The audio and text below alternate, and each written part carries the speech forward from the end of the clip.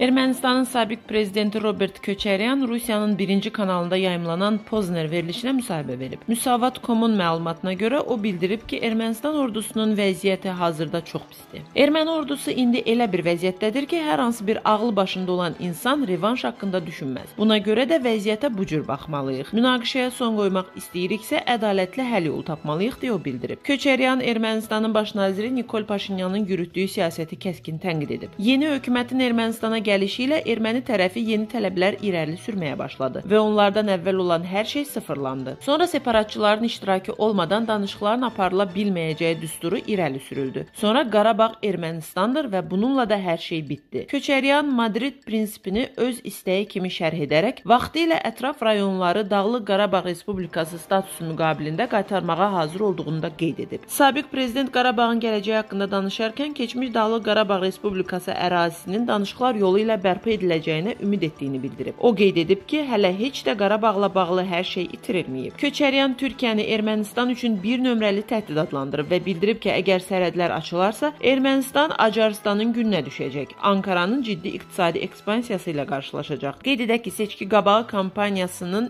ilk müsahibəsində Robert Köçəryan Putinin xoşuna gəlməyə çalışıb. Qondarma Dağlıq Qarabağ Respublikasının statusundan, revanşdan danışmayıb. Bu arada bildirilir ki, müsahibənin efirə verilməsi görməməsi üçün Paşinyan komandası kanalın rəhbərliyi ilə əlaqə saxlasa da məqsədə çatılmayıb.